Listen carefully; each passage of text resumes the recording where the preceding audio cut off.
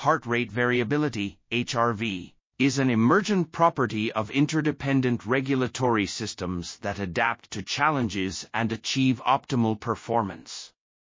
This article reviews neural regulation of the heart, including basic anatomy, the cardiac cycle, sinoatrial and atrioventricular pacemakers, and the cardiovascular regulation center in the medulla.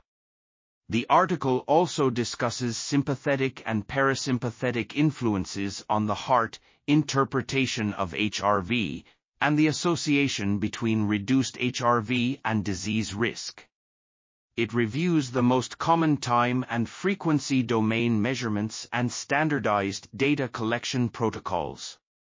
The authors integrate several theories and models to conclude that a coherent heart is characterized by complexity and stability over longer timescales, and future research should expand understanding of how the heart influences the brain. This article was authored by Fredric Bruce Shaffer, Roland E. McCready, and Christopher L. Zerr. We are RTCL.TV, links in the description below.